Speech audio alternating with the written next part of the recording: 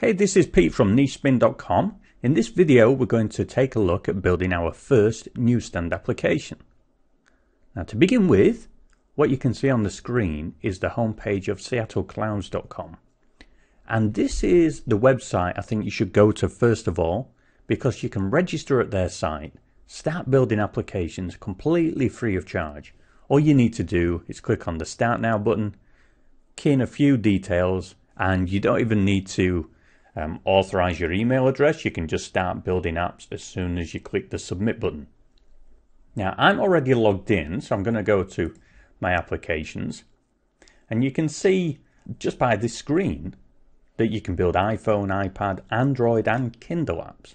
What we're going to focus on is iPad, but this will give you an idea of just how extensive the tool set is at Seattle Clouds for publishing applications to all these different platforms.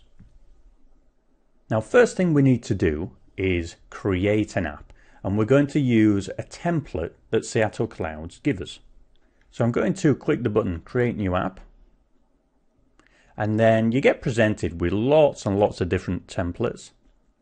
If I scroll down, you can see we get um, something, what's that, four per page, but then there's 12 pages of templates. Now this is great if you're designing, you know, apps for businesses and things like that, like pizzeria. Uh, but we want a newsstand app, and there are a few um, templates we could use. I'm just going to try find one.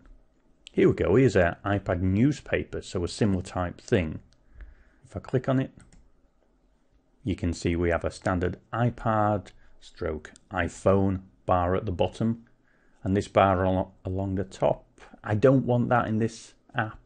So I'm going to choose a different template. So let me click away from that. I'll scroll down. We don't want that one. What I'm going for is a real basic template where it's completely empty.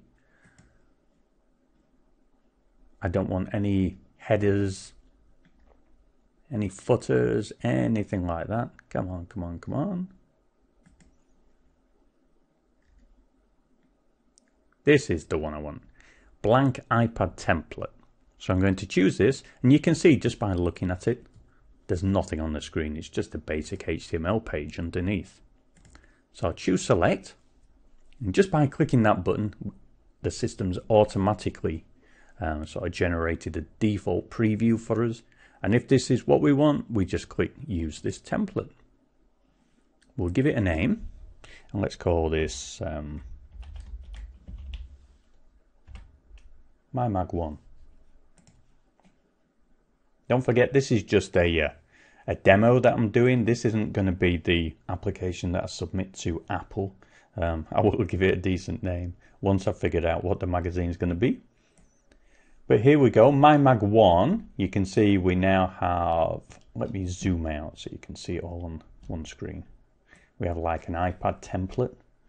We have the options here where we can spin the iPad on its side. So you can see what the application sort of looks like when the device is rotated. And then down the right hand side, you can see we've got these various properties which we'll start going through. Now, on the page that it gives us from the template, you can see we've got a couple of links here. HTML page example and native page example. I can click on these and it'll refresh. Very basic page. The example they've given is just how to place a back button on the screen. And then native page, this is one of their standard page templates that's, um, I guess it's titled Mosaic Title. And you can click and see the pictures. I don't want any of this stuff. So what I'm going to do, first of all, is introduce you to the resource button. And what this does is brings up this window and shows you all the files that your application will be using. And you can see we've got a number of files already included in the app. You can see you've got these mosaic pictures, which I guess one of these is the background that you see on the iPad now. I don't want this stuff. So I'm just going to delete all the files we don't need. So background repeat, I don't know what that is. If you click on it, oh, there we go. It's that basic front page. I'll remove that though. Um, big icon. I guess that's an icon for the actual app. I'll leave that for now. That seems to be some sort of loading page. I've had PNG. These ASHX files, I'm just going to leave them. I'm not exactly sure what they're for, but there's something to do with building the app, I think. How it's all configured behind the scenes. HTML page example, I want to delete that one. I'll leave these icons. I'll leave index because that's the first page we see. And then I'm going to delete these things. Uh, leave that one. Get rid of that. I don't need an RSS reader. Um, I'm going to create my own style sheet, but I'll leave that for now. And then I'm just going to click delete. And there we have it. Our application now just consists of these files, of which I'm probably, oh, one didn't get deleted, of which I'm probably going to be deleting some of these as well, because we'll be creating our own brand new. So I'll click done, and then let's see, go back to the top. I'm going to click up here on the My Mag dashboard link again. Go back to the home page. And then these links shouldn't work. So if I go to HTML page yeah there's no file there because I've deleted it. So what we can do is let's tidy up this home page. We'll choose edit. And now we're in edit mode. It allows us uh, I don't know if you can see this. Let me just uh, change things a little bit on my screen let me see if I can move it around. Here we go. We've got add remove, edit pages, edit pages, tab icons and change background. And I guess the, uh, the screen's just a bit too big to fit in one go. So I'll try and move things around if I can. So what I'm going to do is edit this page. I'll stop waffling and get on with it. so I'm going to choose edit. Oops, let me bring this over so you can see. I'll choose edit and now we're in edit mode. If I move to the left, you can see we have this big toolbox here. And this allows us to drag and drop elements onto our page and configure them in a nice um, sort of GUI style. So if I click, let's say, um, an image button, it's going to say, what do you want to include? I'll just choose any image for now. Oops, I did that wrong. I do apologize.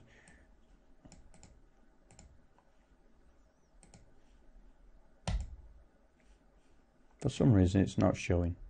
Let's go straight to the HTML and I'll come back to this toolbox in a little while. So I'm going to click on the HTML option up here and you can see this is how the page is made up. Now one thing, for those of you that know about HTML, you don't see the header and you don't see the footer. You only see the what's inside the body tags of HTML. So all I'm going to do, I mean, you can do this on the design page. Oh, look, the image was inserted. I don't know if you can tell. We do have the image there. It's just, um, let's see if I can, there it is. That's what was inserted. It's just, I chose a really bad image because you can't see it on the background. Let me delete that thing. there we go. Let's take off these links. So all you need to do, drag over the element and you can press delete. And that'll remove them from the screen. Or my preferred method, I don't know why, I've just got into the habit. I just go into the HTML and delete it there. So then we have this heading at the top. Let's just say my magazine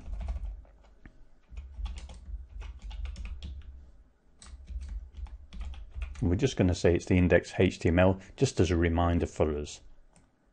Okay, move the camera over. I'll click save. Now the, um, the page is saved, we can come back out by saying done. And there we can see how the page looks. If we do done again, we're going to go back to our dashboard where we can access other elements of this system to configure the app. But that's it, we've just edited the first page of an application. Now this is, um, it looks garbage because I don't want this background. So what I'm going to do is if I can't remove it, oh yeah, here we go. Because we can't get to the header HTML, I can't actually get rid of this image. So what I'm going to do is go back to the resource box and show you what I prefer to do. And this is download the whole application onto my local machine. Now this is something that then gives you the flexibility to edit the complete HTML document. So you get the headers and footers and everything. And once you're done with it, you can upload it back to the Seattle Cloud server and see it on the screen. So let's do that. I'm going to click download and it's just come off the screen. Just give me one second. Okay, I'll drag this in and here you can see we've got this zip file that was downloaded to our machine and I'm going to uncompress it.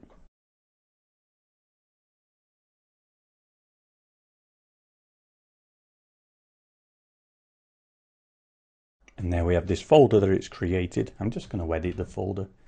Um, and we'll call it my MyMag1 just so I know what I'm working with.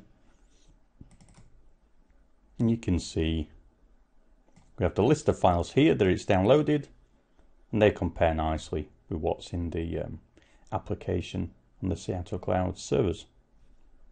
So what we can do now is edit the index.html document directly on our machine. And you can see we now get access to the header and anything below the body. Let's give it give it a title for us. I mean, we no need to change this, but I'm I'm going to change it anyway. MyMag1. I'll leave that and that and that. It's referencing the style sheet that the system created for us, but in a little while we'll go through how to create our own style sheet so we can make our mag look completely different to what we've got.